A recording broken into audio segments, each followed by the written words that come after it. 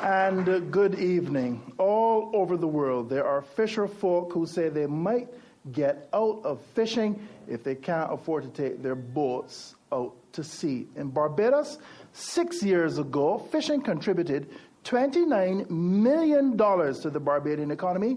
That was six years ago. Last year, it was estimated to have contributed $10 million less.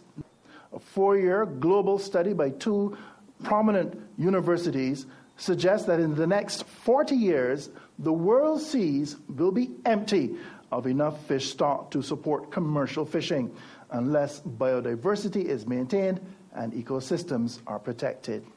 In Suriname, raising fuel prices have grounded 70%. Seven out of 10 fishing boats don't leave port from Suriname because of the rising cost of oil. And the Food and Agriculture Organization of the United Nations, well, they estimate that the world loses a staggering $50 billion a year from poor management, from inefficiency, from overfishing. Are Caribbean fisheries sinking or swimming in a sea of uncertainty? Should we bank on fishing in the Caribbean? If you pardon the pun. Is Caribbean fishing in need of its own bailout? What form of bailout should that take? Well, we hope to haul in, if not some answers, then many more but important and great questions on the future of Caribbean fishing with a panel of experts drawn from Caribbean government, academia, and the fishing industry itself. Dennis Kellman, MP, is Barbados' ambassador to CARICOM and chief negotiator. He's been given the task by the David Thompson administration to finally sort out a long standing dispute with a CARICOM neighbor, Trinidad and Tobago, over fishing. He says the current state of the region's fisheries sector is not as positive as it could be, but in light of measures being put in place to enhance security, he and his government believe that the fishing sector can benefit. Dr. Patrick McConney is a senior lecturer at the Center for Resource Management and Environmental Studies, it's called CERMES, at the University of the West Indies Hill campus. He's a principal researcher in the CERMES four year project on marine governance in the Eastern Caribbean. It's called the Margov Project, organizers of this panel discussion. Studies on fisheries governance in the CARICOM region highlight several challenges. All that's needed, Patrick McConney says, is a little CARICOM creativity to overcome them, networking people at all levels of governance to work across national boundaries.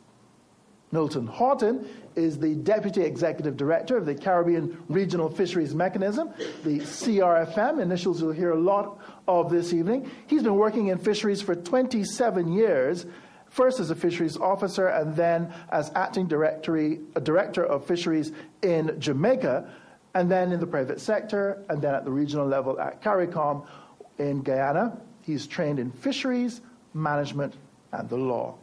Milton Haughton says fisheries is a strategic but long neglected and underperforming industry. He feels that fishing can reach its full economic potential if the countries of the region work together in concert to protect, manage, and use its abundant natural resources. And what would any debate on Caribbean fishing be without a fisherman's perspective? Mitchell Lay is an Antiguan fisherman who has his own boat, and he's the head of the coordinating unit of the Regional Fisher Folk Network. That's a CRFM project that's out to network all the national fisher folk organizations in the Caribbean. So Mitchell Lay brings the fisher folks' perspectives, but the big picture of regional fishing because he travels to several islands and engages with fisher folk on the issues they're facing. These are our panelists this evening.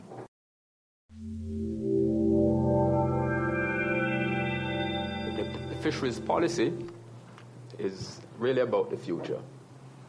It's about ensuring that we get it right, that we're able to transform this sector, which, as you mentioned earlier, is really underperforming and uh, it faces numerous challenges.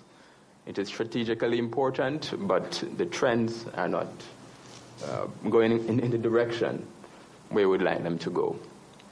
So, the government, the heads of government in 2003, mandated that we develop a common fisheries policy. And this is to transform the sector to ensure that we continue to get sustainable social and economic benefits from these valuable resources. No, the policy is a comprehensive framework. It covers everybody. It covers all aspects of the fishing operation from harvesting, processing, marketing, trading, management, research, data collection. It, it is comprehensive. All right, well, you spoke of politicians with clear mandates. One is uh, just across the table from you, Dennis Kellman. You've got a clear mandate from the government of Barbados to sort out uh, a, a long standing dispute between uh, Barbados and neighboring uh, Trinidad and Tobago, stretching back about 25 years. You see, if we just focus on fish, we will always find ourselves in trouble. We have to look at the total picture and understand what is really happening. It is more dynamic than that.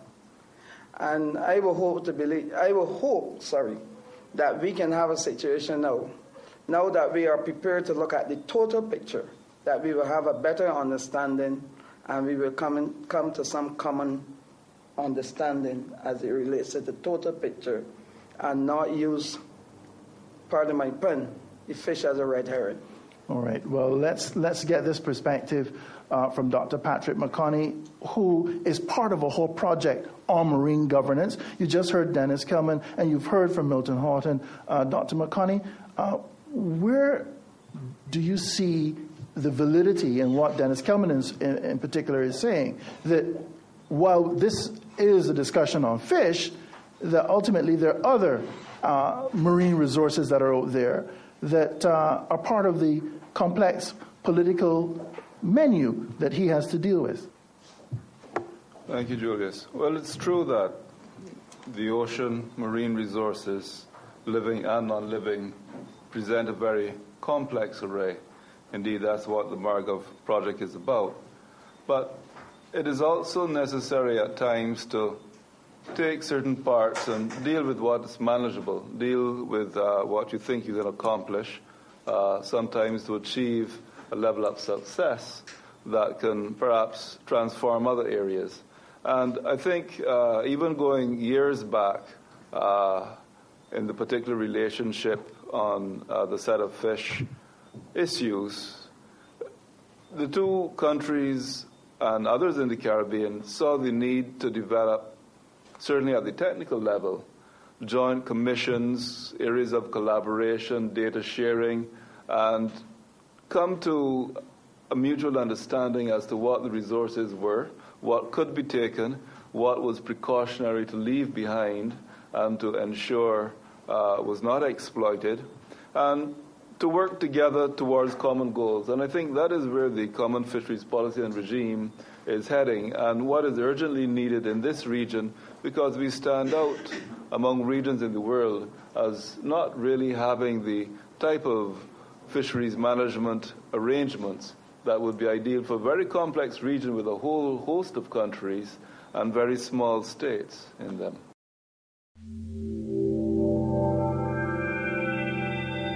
First, I want to say that fishers on a whole throughout the region are not well aware of what the common fisheries policy and regime is about. So the first thing we started is there's a lack of information at the fisher level um, fishers are really mainly concerned right now about surviving, about defending their interests.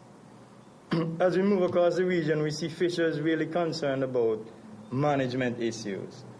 Um, for instance, in Dominica, there's the whole issue of juvenile fish.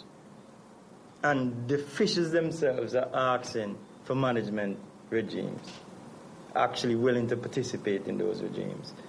But across the board, fishes are really primarily concerned about surviving. But we're also concerned about having a role, having a part to play in managing the resources so that we can continue to survive. No, my question is your network is supposed to be part of this regional fisheries uh, mechanism that uh, Milton Haughton is a part of. Your, your organization, Milton, is supposed to be managing this helping to, to manage this process of a regional network. You just heard it from Mitchell They're not aware of the fisheries policy. Is it important for them to know uh, what's really in that document?